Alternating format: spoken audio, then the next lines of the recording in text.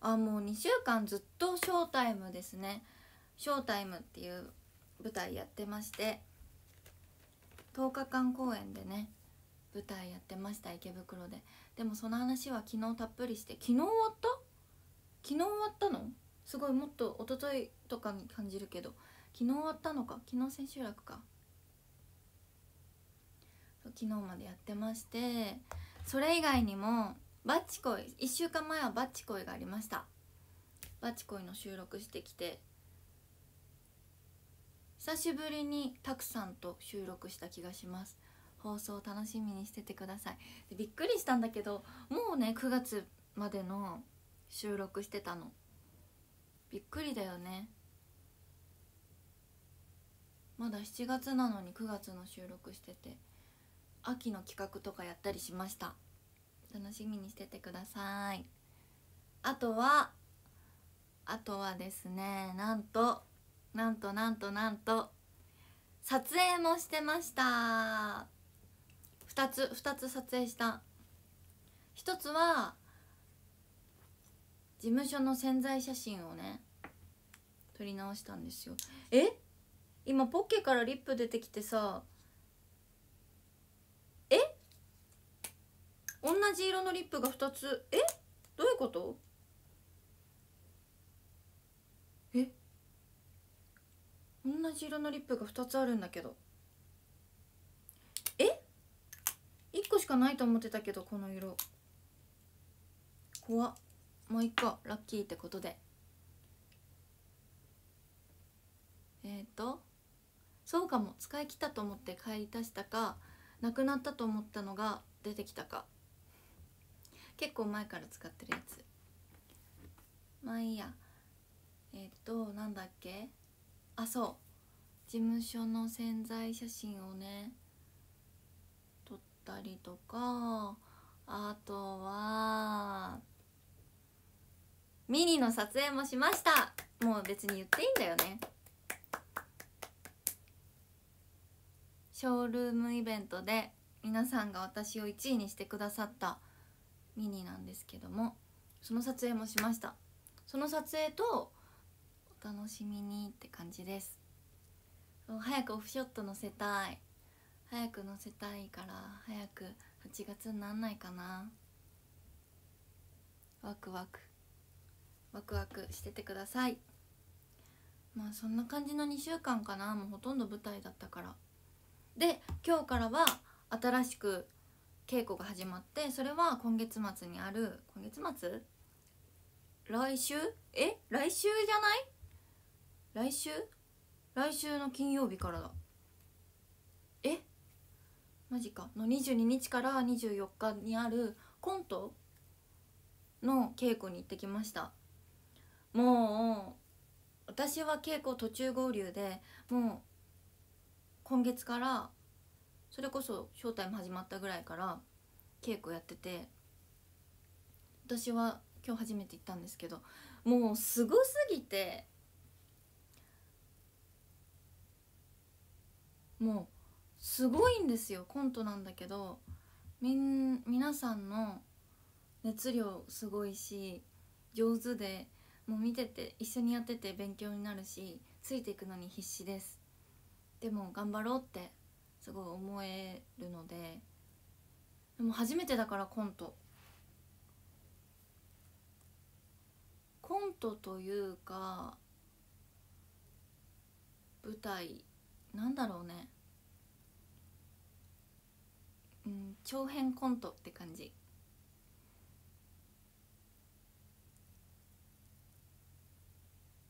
でも本当に間とか音とかそういうのが本当に細かく決められていくから昨日までのあのショータイムとは全然違うと思います。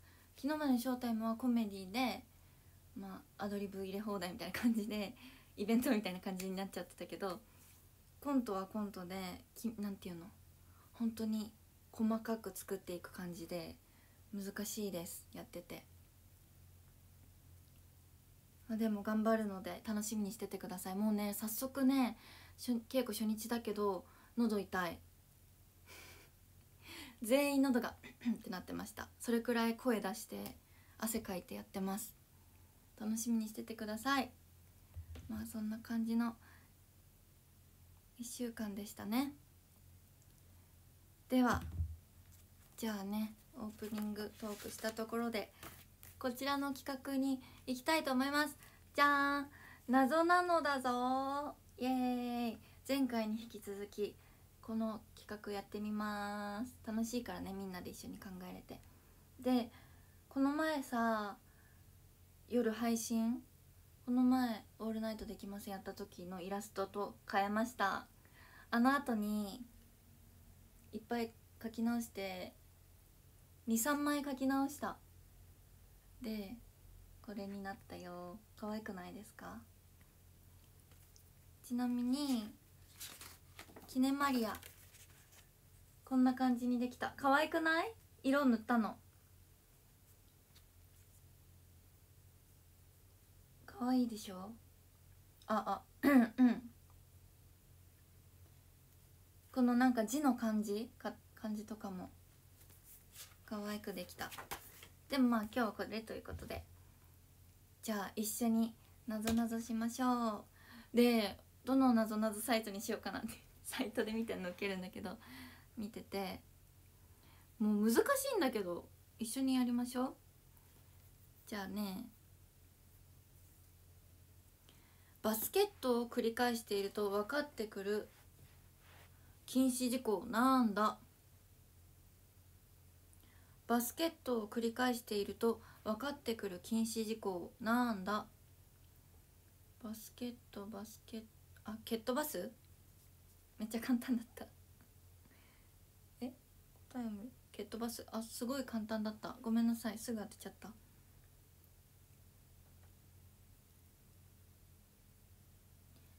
サンマとゴマの間に入っている大きなものなんだ。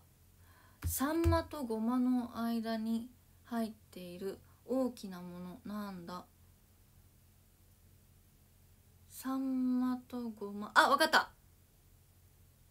あわかった。2段階でわかった。わかりました？サンマとゴマの間に入ってる大きなもの。わかった。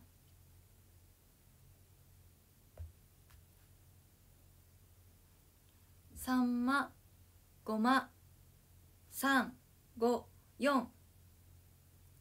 四ま島。島じゃない？答え。島。イエーイ。なんか簡単なんだけど。皆さん当たりました？レベル高いのにしよう。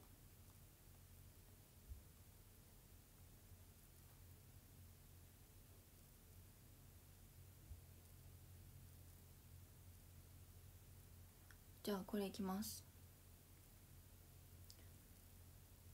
顔に楽器をつけてる。5文字の食べ物ってなんだ？顔に楽器をつけてる。5文字の食べ物。顔に楽器をつけてる。5文字の食べ物。顔に楽器？顔顔顔顔に楽器。え全然わからん。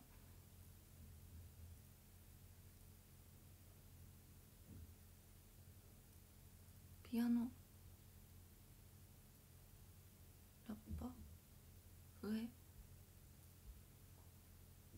顔。ふふがし。違う。当たり出ちゃってる絶対。すごい。当たり出ちゃってるよ絶対。うわ正解です。明太子。悔しい。悔しすぎる。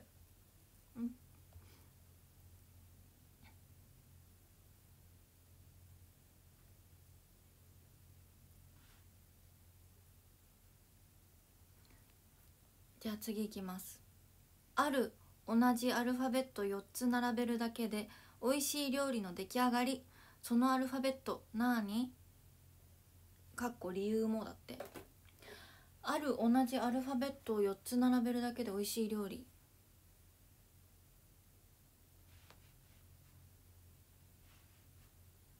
待ってね。分かっても書かないでね。ある同じアルファベット4つ並べるだけで美味しい料理の出来上がり。そのアルファベット何？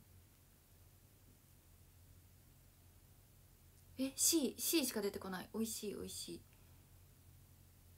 え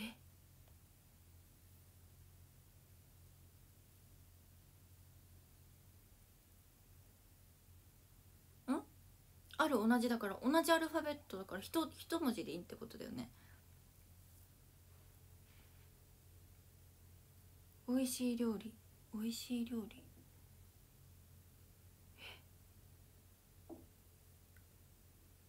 わかりました？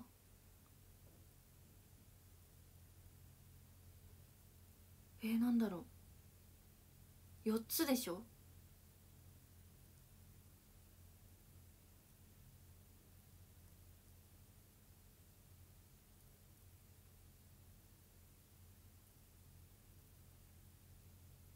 何？V4 って。ねえ。答え書かないでねって言ったじゃん。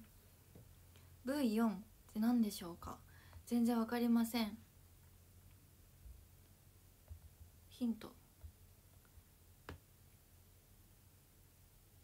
正解じゃん。V4 だよ。正解じゃん。くそ当てたかったじゃあ最後にします。最後。おでんファミリーが大喧嘩。卵大根こんにゃくちくわはんぺんごぼう巻き。唯一涙を流さなかったのは誰？理由も。おでんファミリーが大喧嘩。卵大根こんにゃくちくわはんぺんごぼう。唯一涙を流さなかったのは誰？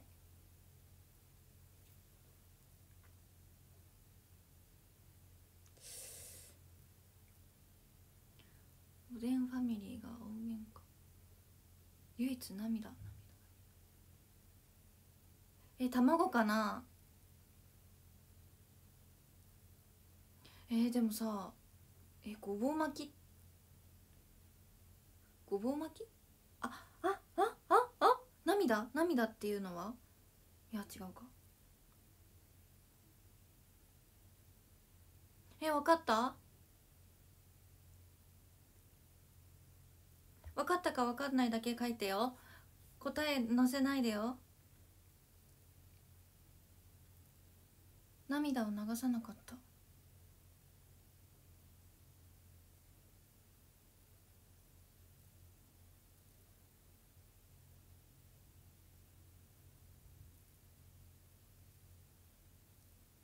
泣かないから。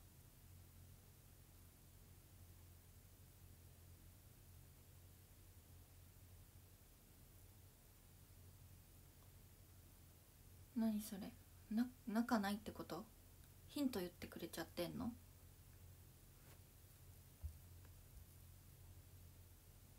でも仲ないのいっぱいない？大根こんにゃくちくわはんぺん。えどういうこと？ヒント見る。ヒント。涙を流さなかった。泣かなかった。中なかった。唯一でしょ？卵はさ黄身があるから中あるってこと？ごぼう巻きもごぼうが巻かれてるからそれが中なんでしょうか？ちくわも空洞が中ってこと？どういうこと？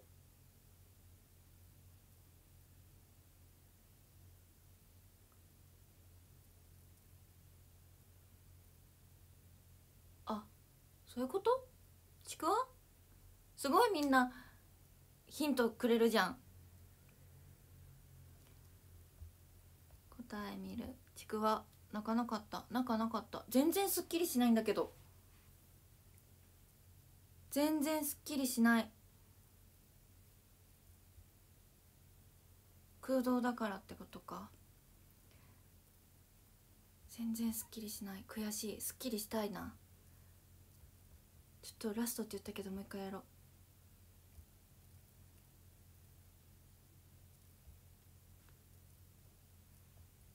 違うサイトにしてと。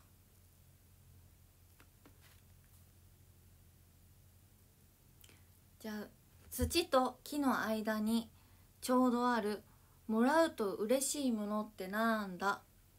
土と木の間にちょうどあるもらうと嬉しいものってなはいわかったはいわかりましたはいはいわかりました。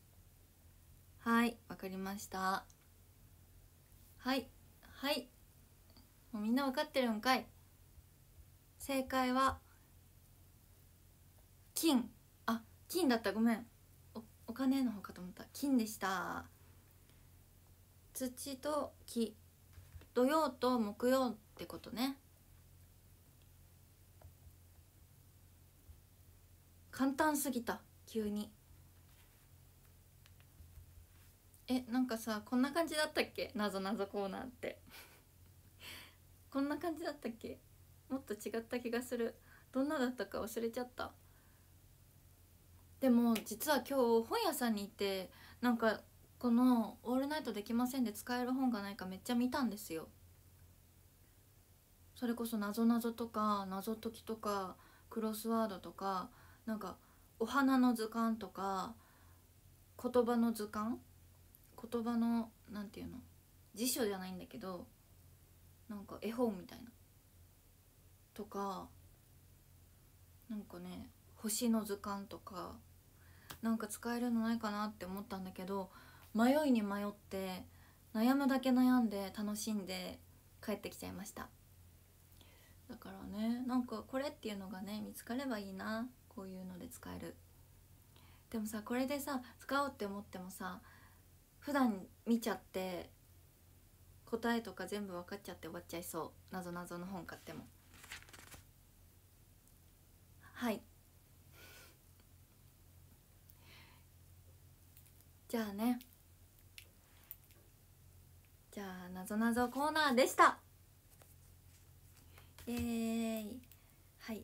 ということでじゃあ今日はちょっと時間もいつもより早いのでラジオっぽく曲紹介をしたいと思います。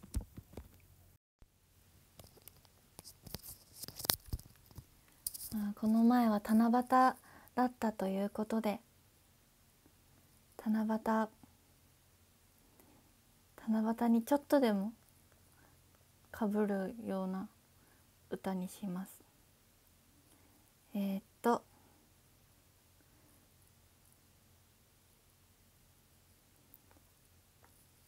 はい。じゃあね七夕皆さんはどんなお願い事をしましたか？それではそれでは聞いてください。なんだろう。お聞きいただくのは AKB48 で星の向こう側。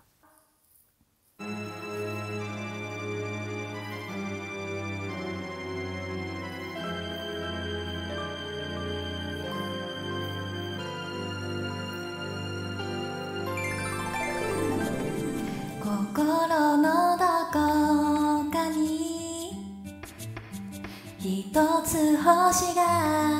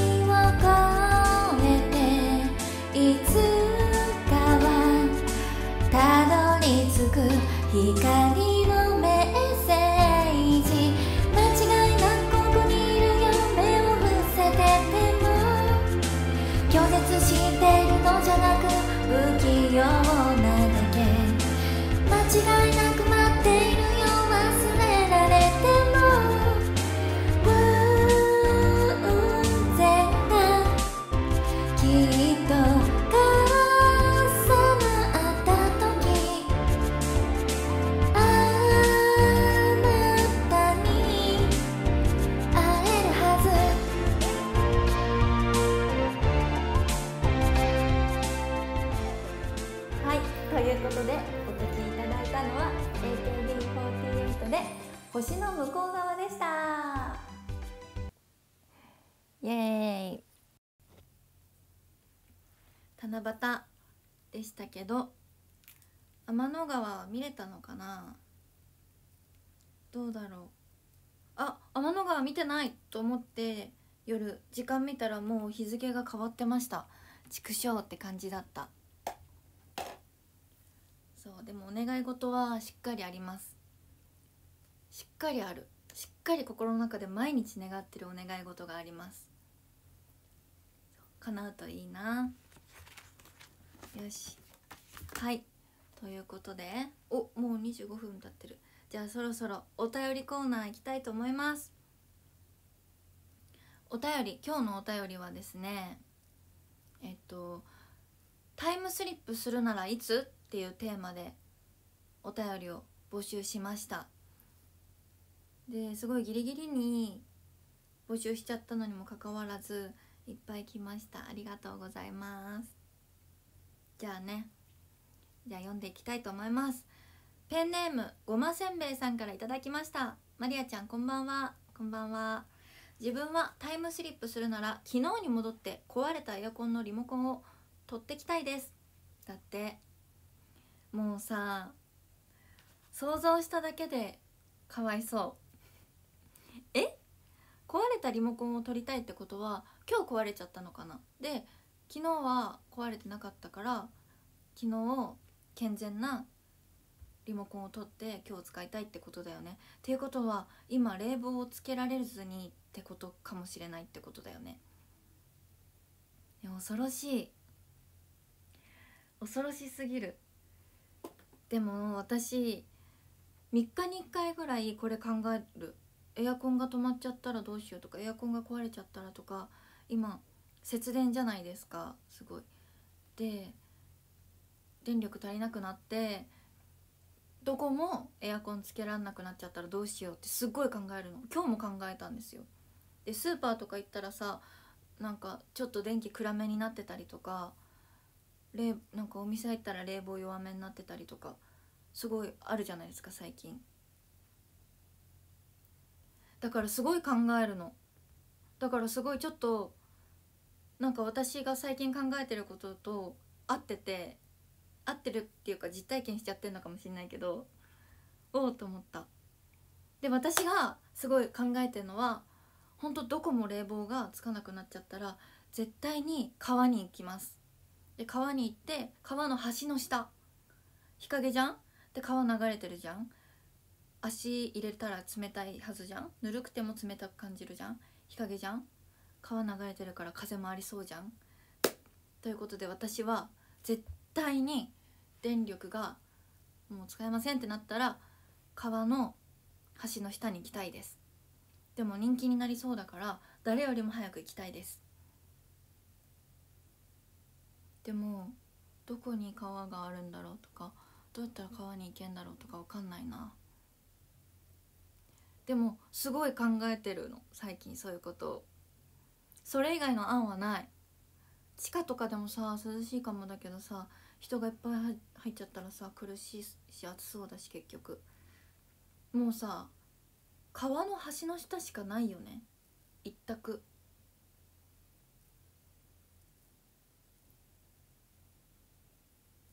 あー水風呂？いやでも暑いっしょ。汗かきそう湿気で。洞窟？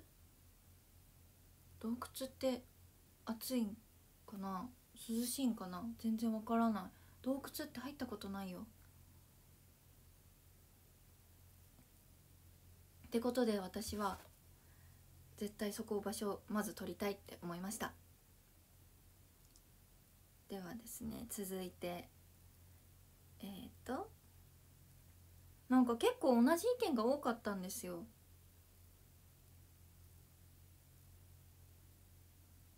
えっとね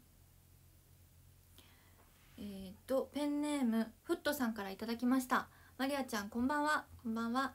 自分がタイムスリップするとしたらチームメイトのお披露目の日です。なぜならその時からマリア推しになってたらもっと楽しかっただろうなと思うからです。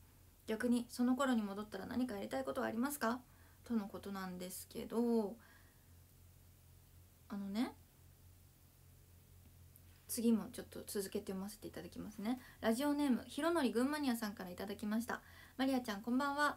毎週楽しく聞かせてもらってます。さて今回のテーマのタイムスリップするならいつ？ですがチーム8が結成された2014年です。当時から AKB が好きでしたが最初にチーム8の発表がされた時は正直チーム8何それと思ってました。ごめんなさい。いえいえいえ。きっかけは思い出せないのですがそのうちチーム8の魅力に取りつかれ初めてチーム8のコンサートに行ったのが2018年の結成4周年の外商ルでした。当時の推しは違うメンバーでしたがマリアちゃんのことはもちろん知ってました。それから月日が経ちふとショールームを見ていてマリアちゃんが配信していたので見てみたら可愛い優しい面白いめちゃいい子と思いマリアちゃん推しになりました。もちろん今は一押しです。なので2014年に戻ってマリアちゃんを初期から推したいと思っています。コロナが流行し始めてから推し始めたのでマリアちゃんの握手会も参加したことがなくコロナが早く収束して握手会に参加してみたいです。長々と書きましたが結局何が言いたいかというとマリアちゃん大好きだよ。ということです。新参者ですがこれからもよろしくお願いします。嬉しい。こういうねエイトができた時に戻って最初からマリアをしたいって言ってくれる人が結構いたんですよ。嬉しい。そう思ってくれて嬉しい。まあね2014年8年前。その時から応援してくれてる人は逆にすごいよ。よく見捨てずに私をなんか選んでくれたと思う。でもやっぱそう思うの？最初から押したかったなって思うんですか？それは何で？その歴とかって？あでもそっか。昔から押してればもっといろんなイベントに行ったりとか握手会もできたしっていうことなのかな？お披露目に戻りたい。そうですね。だってまあ8ってほんと初期の方は今よりもすごい特別感があったじゃないですか。AKB とは別みたいな。だから AKB の大きなコンサートに出させてもらっても8が来たら席立っちゃう人がいっぱいいたりとかしてみんなもそれ気にしてたりとかしてでも私たちはその AKB のコンサートに出るその12曲の出番にかけてたからちょっとのミスでみんな泣いちゃったりとかなんなら23年経っても AKB さんって言ってたと思います8って。それくらいなんか AKB と認められてもらえてないっていうのが8の中にあったからだからやっぱり8のファンになる人も結構勇気とかいるんじゃないかなって思ってました。その頃はね。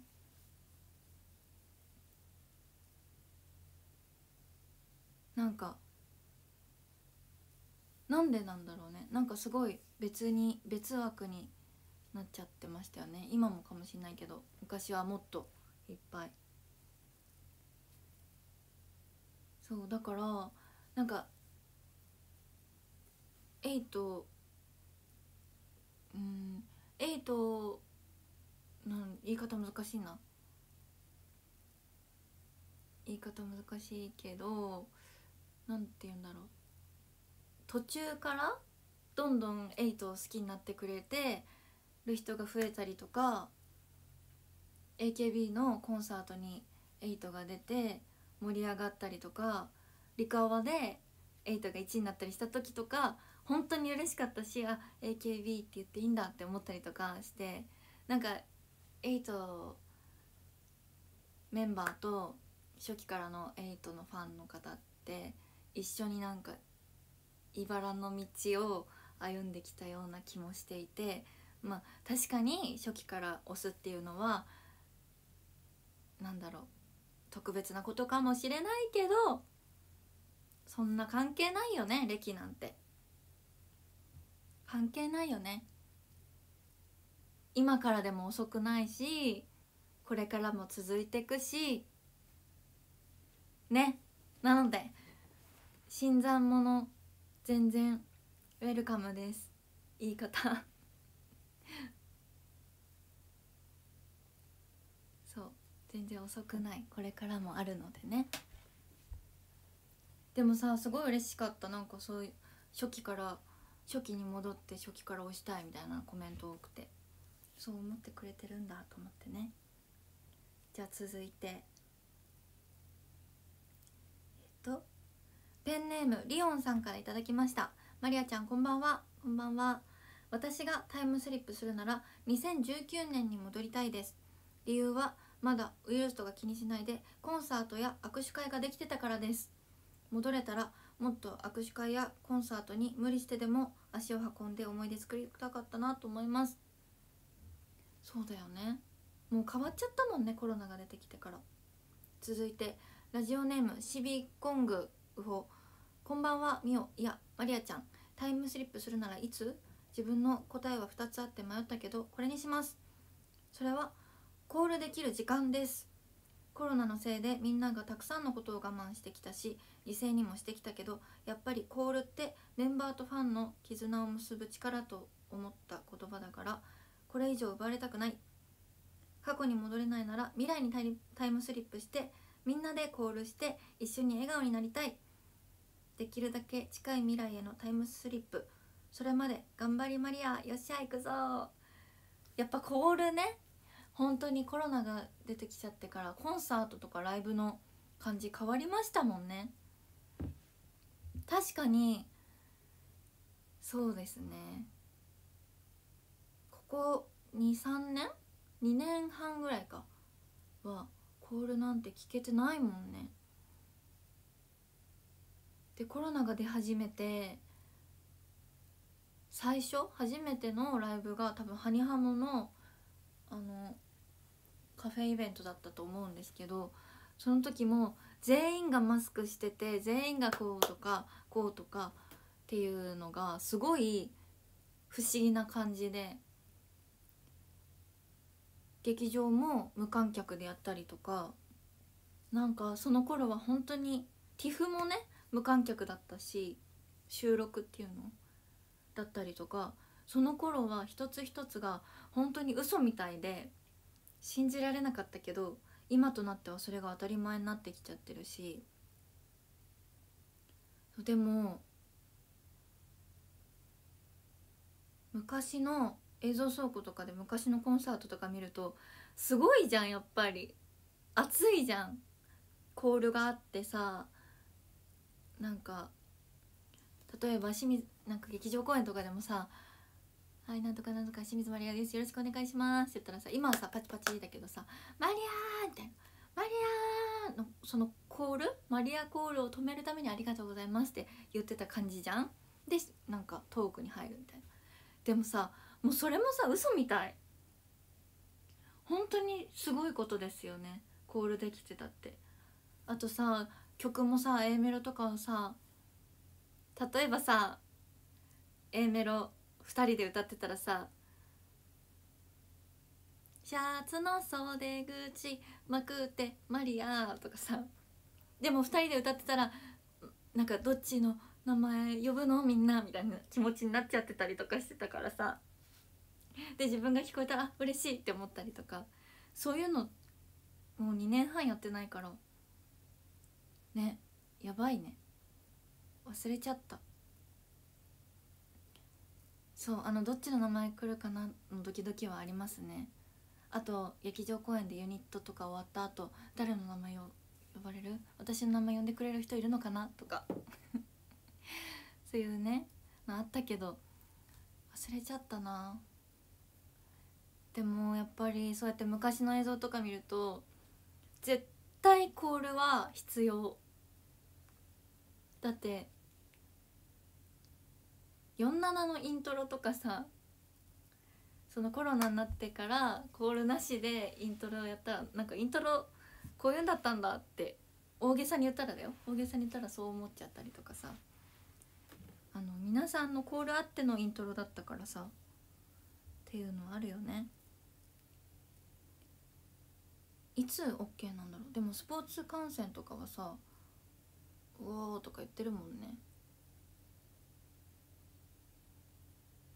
ね。どうなんですかね。でも絶対コールは聞きたい。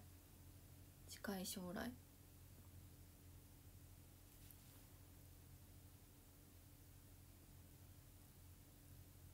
でもさほんと信じられない。嘘みたい。え私忘れ本当に忘れられないのが埼玉スーパーアリーナのオーバーチャーなんですけどもう埼玉スーパーアリーナを8で3周年で立つっていう時にめっちゃさ緊張するしさ一世一代みたいな感じじゃん。で、まあ、アリーナだからこもってるしで私たちはあのステージ上の花道の下に隠れてたの1曲目のためにだから本当に皆さんの近くにいるから舞台裏っていうよりもさ本当客席の中にいる感じだからもうめちゃくちゃコールが聞こえてしかもアリーナだからで花道の下にいるからもうさアリーナ中のコールを聞きながら1曲目を待ってるみたいな。もうそれが本当に忘れらんなくてそう。あれはすごかったしなんかもうオーバーチャーでみんな感動して泣いちゃってたもん。忘れらんないわ。幸せでしたねあの時間は本当に。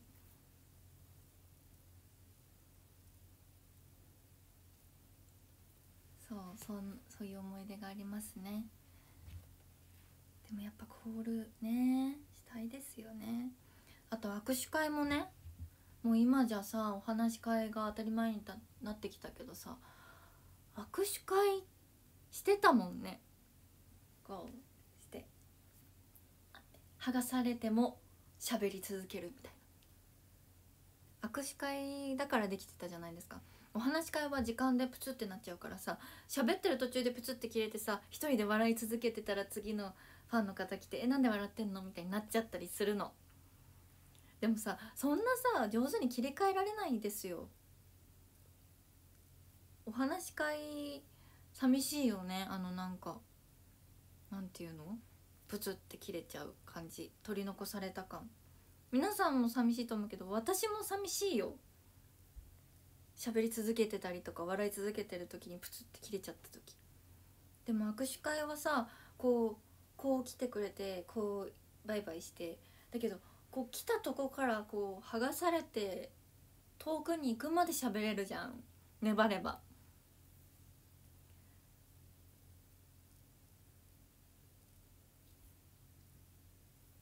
握手会ね。あとねあれね。自分のレーンの目の前にファンの皆さんが待っててくれてて終わってからこう大きく手振ったりとかあとそこでいっぱい溜まってるなと思ったら受付終了の時にゾゾゾッとくるとか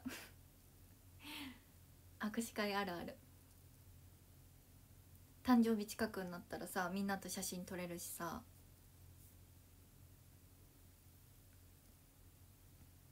握手会ね。うん。どできないのか？どうなんだろうか？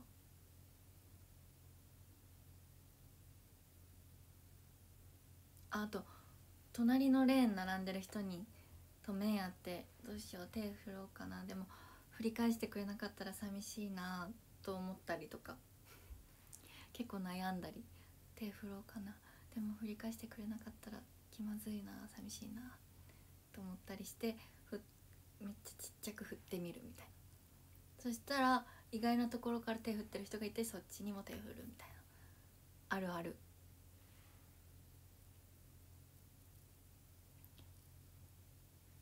でも私あれしましたよね。舞台のアフターイベントでサイン会？フェイスシールドだけど。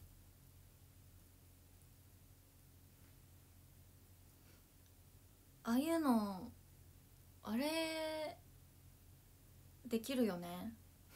距離頑張って取れば。またさソロイベントとかでさできたらやりたいなああいうの。って思ってますよ私は。でもねどうなんだろうね。難しいね。どっってさどうしたら元に戻れるんだ？アイドルとファンのコミュニケーション。もうコロナでだいぶね変わっちゃってますよね。こういうねいろんな戻りたいあれがあったんですけど私はちょっとね みんなと違う AKB 関係なく考えた。私はね昭和に戻りたい戻りたいっていうか行ってみたいです。なんでかっていうとなんか謎に憧れがあるんですよ。結構昔から。だからあそことかすごい好きでした。あのメガウェブの車が展示されてる昭和の街並みのやつ。知ってますか？ヴィーナスフォートの中にあるあのね車がいっぱい置いてあって昭和の街並みの中に置いてあるの。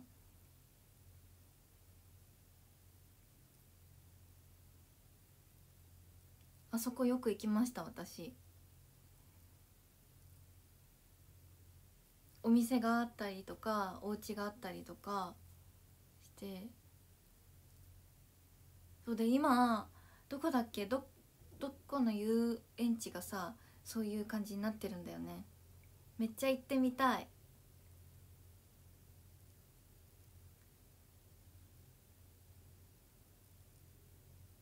そう西武園遊園地かな。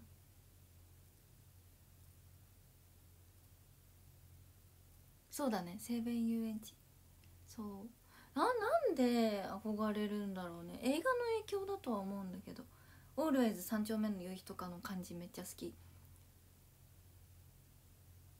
そう。なんか路面に電車みたいのが走ってたりとか道路がさもう道路の道路と土の間みたいなだったりとかさなんかテレビをテレビがあるお家に行ってみんなで見るとかさそういうの憧れる。なんか人と人の距離が近そうじゃないですか。なんか実際は分かんないよ。私はさ平成生まれなんで。だけど人と人の距離が近そう今より。なんか人付き合いがその分大変かもだけど強そう。なんかいいですよね。憧れる。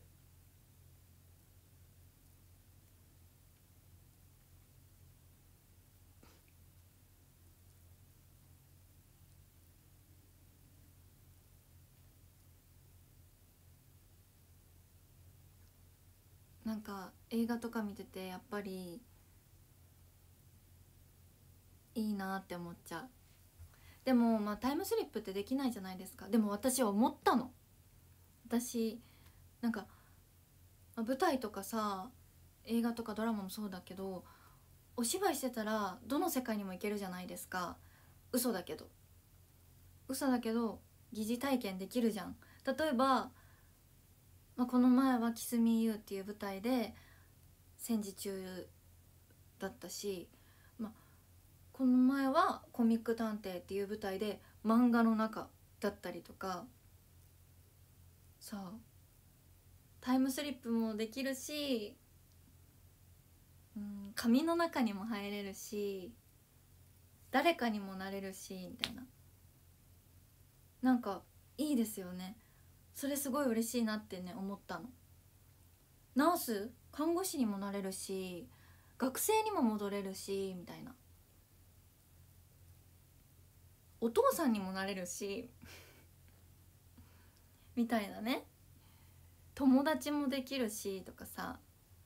なんかすごい特権っていうかだなってね思ったんですこの前。だから昭和の作品に出たいなって思った。結構あるからね。そう。それがすごい楽しいなって思ったしなんか、うん、特権だなって気づけたっていう話でした。はい。お父さん役気づかなかった。気づくでしょ。嘘。後で写真載せるって言って載せてないわ。はいっていう話でした。じゃあ皆さんお便りありがとうございました。よし。やばい。49分。なんか2週間ぶりだから忘れちゃった。どういう感じでやってたのか。忘れちゃったな。こういう感じだったっけ？もっとちゃんとできてた気がする。まあいっか。来週もやります。来週は7月の18日だね。あお話し会じゃんその日。あそうなんだ。じゃあ19日にしようかな。18にしよう。えー、どうしよう。お話し会終わりにするかその次の日にするか。悩むな。なんかなんでかっていうと私がこの月曜日に「オールナイトできません」やるって言ったのがツイッターでね「嫌いな曜日は何曜日ですか?」っていうのやったら月曜日が嫌いっていうねコメントが圧倒的に多かったから月曜日にしたんだけどそれって多分仕事始めだからとかだよねまあいっか気にしないでいやでもお話し会終わって帰ってきてまあいっか。後で決めます。じゃあ一応月曜日の変わらず月曜日の予定でいきたいと思います。でもお話し会来週2日連続であるね。楽しみ。じゃあランキング読みます。20位。20位。グアポ群馬ニア。ありがとうございます。19位。なお群馬ニア。ありがとうございます。18位。あやかんありがとう。17位平群馬ニア。ありがとう。16位コバ群馬ニア。ありがとう。15位ひろのり群馬ニア。カルコメも楽しみにしてるね。ありがとう。楽しみにしててください。14位ひろ群馬ニア。ありがとうございます。13位ジェリー。ありがとう。12位水まりしびこ群馬ニアウホ。ありがとうございます。11位清水。ありがとうございます。10位とち太郎丸エンジェルランド。ありがとうございます。9位同胞葵ありがとうございます。8位みつおつ。みつおつありがとうございます。7位波ありがとうございます。6位三角おむすび群馬ニアありがとうございます。5位両幕張の群馬に。